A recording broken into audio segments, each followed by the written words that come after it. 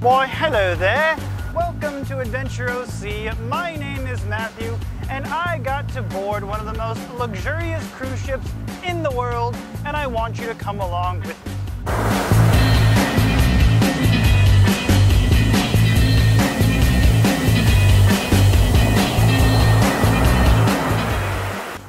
Her name, Queen Elizabeth, a ship with a rich British heritage that courses through her illustrious interiors. The Queen Elizabeth was constructed in the Fincantieri shipyard in Monfalcone, Italia, and was christened by none other than Queen Elizabeth II herself. I name this ship Queen Elizabeth. The same queen who launched the original Queen Elizabeth in 1938 at the brink of World War II, and whom the famous hit show on Netflix, The Crown, is based off of. What sets her apart from the typical cruise ship like the Grand Princess behind me is her unmistakable British heritage. That and the fusion of Victorian and Art Deco design found all throughout her interiors, as well as all the decadent amenities that you'd expect on a luxury cruise ship. At 964 feet long, the Queen Elizabeth is 82 feet longer than her step great great great grandmother, the RMS Titanic, and 55 feet shorter than her grandmother, the RMS Queen Mary. She holds 2,091 guests and 1,005 crew, compared to the 2,260 guest capacity on Costa Luminosa, which means a more spacious experience for guests. The Queen Elizabeth is owned by Carnival Corporation, which owns a good portion of the cruise industry, and is operated by Cunard Line, which has been around since 1840. Cunard itself has a very influential and affluential history, carrying all kinds of influential people throughout its history of service. From famous authors like Charles Dickens, to famous celebrities from the golden age of Hollywood, all the way up to famous rock bands in the 60s and 70s, to where the ships themselves have become celebrities in their own right. So putting all of this together, the rich British heritage, the famous reputation, as well as the glitz and glamour aspect, and you have modern Cunard. Currently they operate three ships, one on its way, and one of them being the last ocean liner in the world, the Queen Mary 2. The difference between an ocean liner and a cruise ship being how much it can handle rough weather. Now, TBH, I thought that the Queen Elizabeth would be a typical Vista class cruise ship with a tacky veneer of elegance on the interior. And boy, how wrong I was. While the exterior isn't too crazy different from a typical Vista class cruise ship, her interior speaks volume on everything that Cunard stands for. She docked as she usually but rarely does here in Pier 93 in San Pedro, California, which is a bigger part of the Port of Los Angeles, which is about 30 to 45 minutes from the heart of Orange County, depending on traffic. Scott and Catherine of the San Pedro Visitor Center took a group of us to explore the ship on a special tour and have a very special, authentic British high tea in the Britannia restaurant at the end. Long Beach and San Pedro are some of the largest big ship ports to cast off from, apart from San Diego, two to three hours down south. Cruise lines like Carnival, Princess, and NCL Norwegian Cruise Line are the primary big ship providers here to destinations like Mexico, Hawaii, Alaska, and the Panama Canal. But on occasion, luxury cruise lines like Yacht of Seabourn, Silver Seas, Crystal, Oceania, Regent Seven Seas, and indeed Cunard will grace us with their presence and make it possible to enjoy a wonderful luxury experience.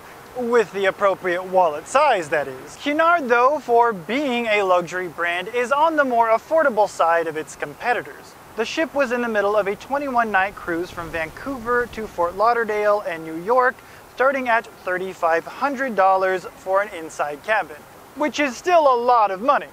But hear me out.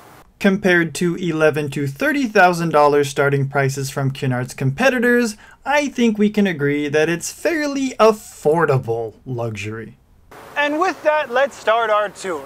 This was a very special visit as the night before, on the 4th of July, Queen Elizabeth partook in a special royal rendezvous with her grandmother, the world-renowned RMS Queen Mary, complete with a fireworks show and the debut of a Cunard Heritage Museum curated by Cunard to be presented aboard the ship the following day. Now when it comes to luxury, presentation is everything.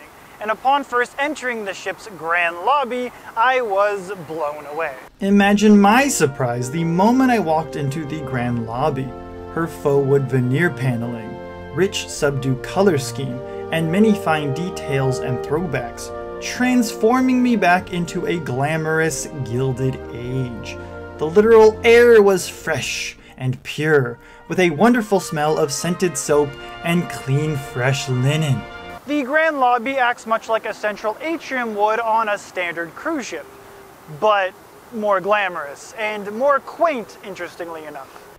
Featured is a grand sweeping staircase, partially inspired by the Titanic's grand staircase, with a huge marquetry wall panel made entirely of wood veneers, paying special tribute to the original Queen Elizabeth of 1938, which helped shorten World War II by a full year during her time serving as a troop ship, according to Winston Churchill. It was crafted by Viscount David Linley, the nephew of Queen Elizabeth II herself. Can you get any more British? And royally British at that. The very unique thing about the Queen Elizabeth, which I haven't seen anywhere, is her hybrid Victorian and Art Deco style combination as well as the many odes to maritime history and Cunard heritage, as well as a few famous places that you would find in the United Kingdom.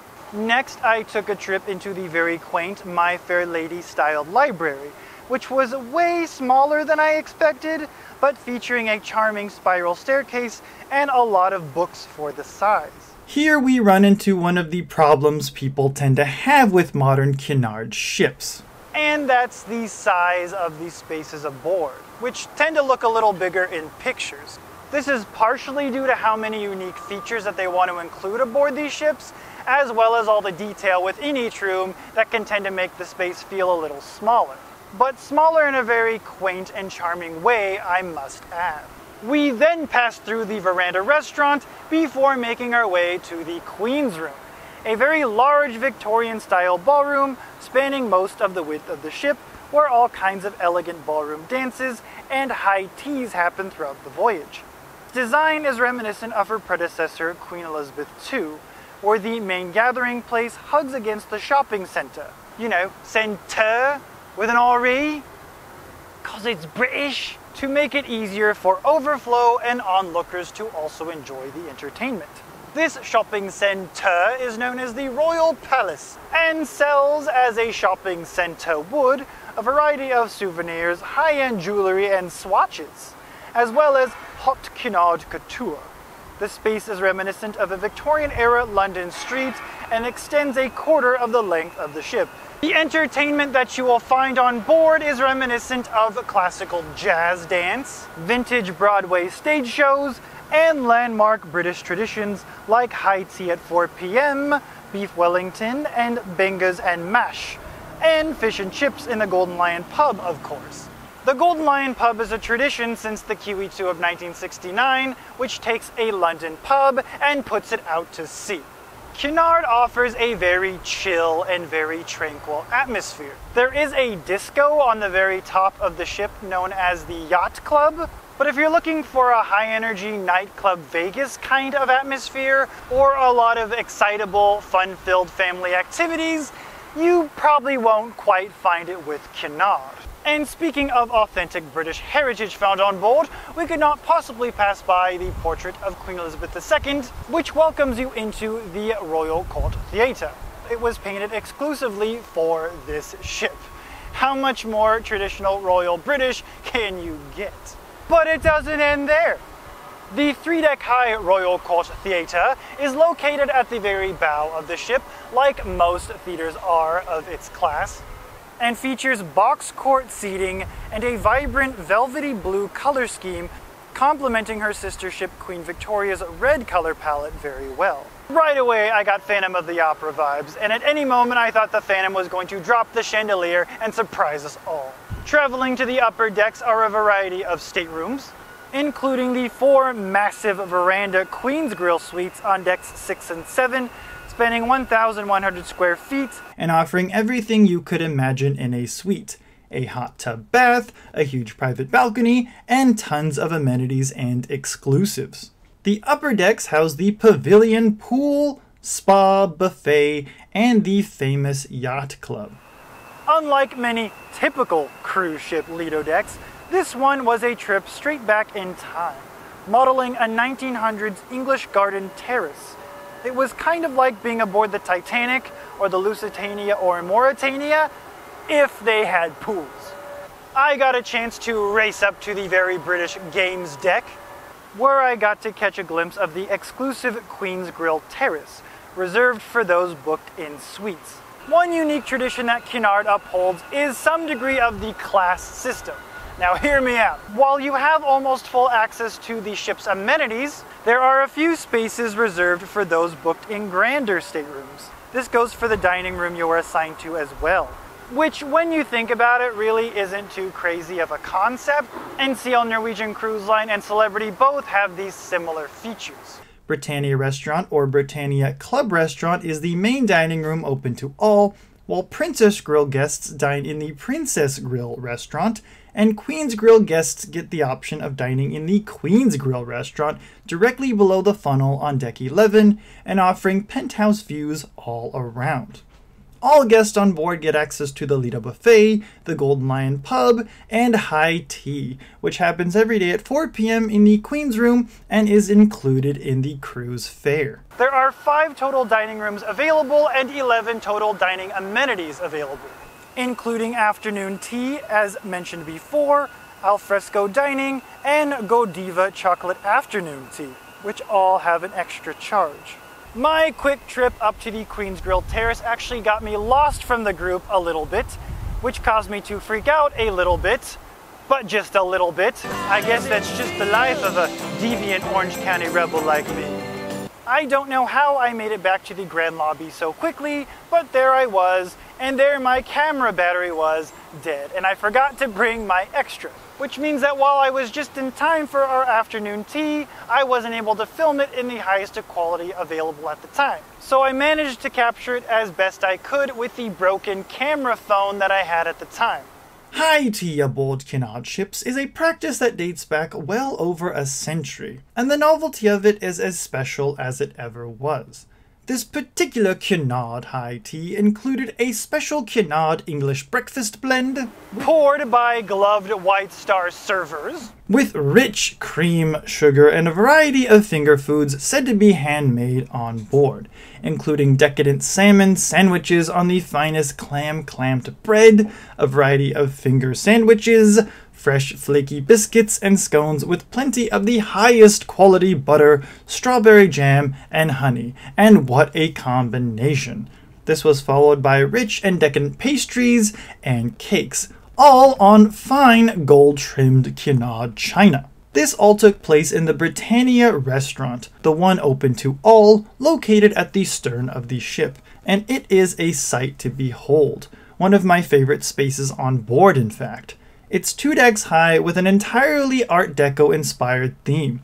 It was lined with cloud like 1930s motifs reminiscent of old Hollywood and columns nearly identical to the ones in the original first class restaurant aboard her predecessor, the Queen Mary. Something I was super jazzed about. On a typical voyage, high tea is served at 4 in the Queen's Room and again included in your fare.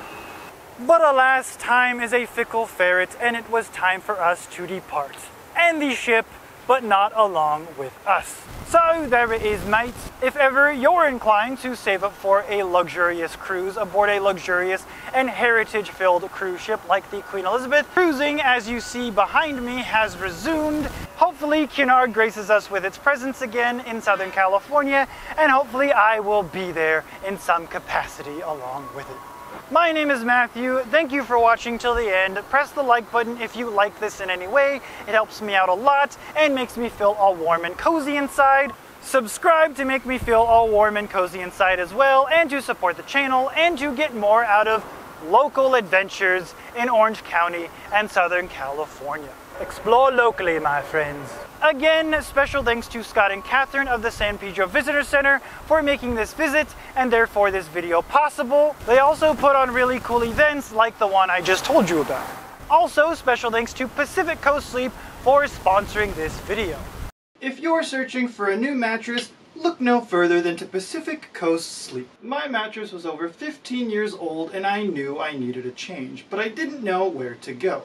So my family directed me to Tim Jones at Pacific Coast Sleep. Tim kindly and courteously helped me to find the right mattress for me. And what I finally decided on was the M. Lily Dreamer. 10 inches of layered smart foam for my health and comfort including a cooling knit fabric cover to maintain body temperature throughout the night, hypoallergenic ventilated bamboo memory foam that resists bacterial growth for a healthier and cleaner sleeping environment that also fights odors. Not only did Tim provide me free delivery on my new mattress, but he also took away my old mattress and box spring for free as well. Use my name Matthew Richards or Adventure OC to get 50% off your next order give him a call and tell him I sent you. I might not get 7 to 14 nights on a mattress aboard a luxury cruise ship like Queen Elizabeth, but with Pacific Coast Sleep, I can certainly pretend like I am.